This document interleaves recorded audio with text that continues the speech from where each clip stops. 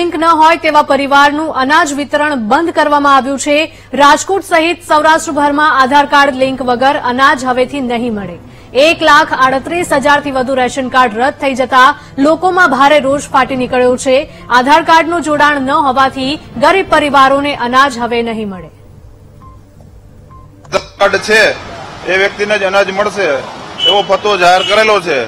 એના કારણે અત્યાર સુધી એવું થતું હતું કે કોઈ રેશન કાર્ડની જનસંખ્યા સપોઝ પાંચ વ્યક્તિ હોય, તો પાંચમાંથી એક વ્યક્તિનું આધાર કાર્ડ ન હતું, તો ચાર વ્યક્તિને એ લોકો અનાજ આપતા હતા. પરંતુ પાછલા ફેબ્રુઆરીની ઓગણત્રીસ તારીખથી, અઠ્યાવીસ ઓગણત્રીસ તારીખથી આ લોકોએ એક નવો ફતો બહાર પાડેલો છે કે જેની અંદર સપોઝ ત્રણ વ્યક્તિનું જનસંખ્યાનું રેશન કાર્ડ હોય અને એક વ્યક્તિનું આધાર કાર્ડ મેપિંગ ન થયેલું હોય. તો આવું આખે આખું કાર્ડ બ્લોક કરી દીધું છે. જેનાથી આખે આખો પરિવાર અનાજથી વંચિત રહે છે. જે ભાઈ બે મહિના પહેલા તમે આ કાર્ડ છે, એમાં આધાર બેઝ નથી, આધાર કાર્ડ તમે રજા રજૂ કરી દો, એટલે તમારું કાર્ડ પાછું ચાલુ થઈ જાય. તો બે મહિના કે દોઢ મહિનાનો ટાઈમ આપવો જોઈએ, જેથી કરીને કાર્ડ કાયમી ચાલુ રહે.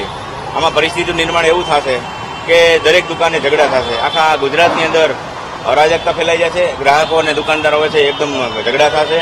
અને જે ખરેખર જે ગ્રાહક છે જેને ખરેખર માલની જરૂરિયાત છે, એવો માણસ આ માલથી વંચિત રહે છે. સરકારશ્રીનો જે વાત છે કે આ ગુજરાતની અને દેશની અંદર કોઈ ભૂખ્યા ન રહેવું, એના માટેની જે અન્ન સુરક્ષા યોજના છે, એ યોજનામાં આવી, આવા જે નાના નાના ઇસ્યુ કરી, જો લોકો હેરાન થાય, તો સરકારશ્રીને વિનંતી છે કે આ બાબતમાં